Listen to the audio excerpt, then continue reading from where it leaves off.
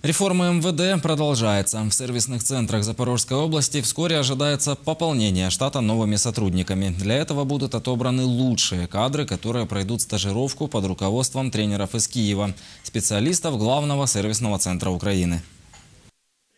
Эти молодые люди – стажеры на должность сотрудников территориальных сервисных центров МВД Запорожской области. Они были отобраны из 120 претендентов. Здесь самые стрессоустойчивые, коммуникабельные и не склонные к коррупции. К слову, зарплату им обещают 6 тысяч гривен. Сегодня праздничный день в Запорожской области. Сегодня первый день стажировки.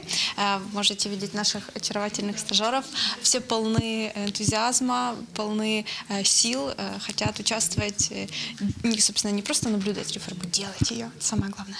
Сервисные центры МВД, которые пришли на смену МРЭО, стали открываться в Украине и в Запорожской области в частности больше года назад. Тогда на работу в них перешли бывшие сотрудники ГАИ и МРЭО. Но для удобства граждан штат расширяется. И пока что здесь есть вакантные места. На них и претендуют эти молодые люди. А поскольку набираются сюда сотрудники, не связанные с работой в органах, то для них проводят определенную подготовку.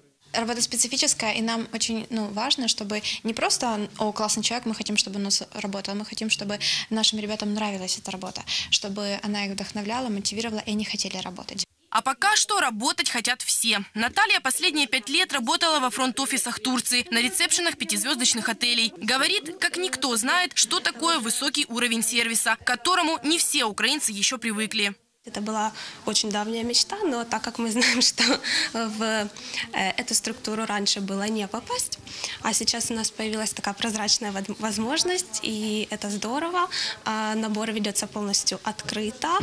Мне очень нравится, мне очень интересно, я просто в восторге. А вот Александр к работе в органах МВД готовился давно. Только окончил университет по специальности юрист и готов применить свои знания на благо общества. Я интересуюсь политической жизнью страны, э, узнал в интернете, на сайте Министерства внутренних дел. Э, Пришел вообще, ну, хочу попробовать себя здесь. Хочется как поучаствовать в реформе, а то по телевизору, в интернете. Хочется вживую поучаствовать. С намерениями стать частью реформы сюда приехала и жительница Мелитополя Анна, в прошлом педагог. Когда сталкиваешься с такими процедурами, как получение водительских прав, оформление автомобиля, как бы вводит э, недоумение, почему так долго, почему так рутинно, то есть эти выполняются услуги. Коль предоставилась возможность подкорректировать работу, можно так сказать, захотелось попробовать и получить новые знания.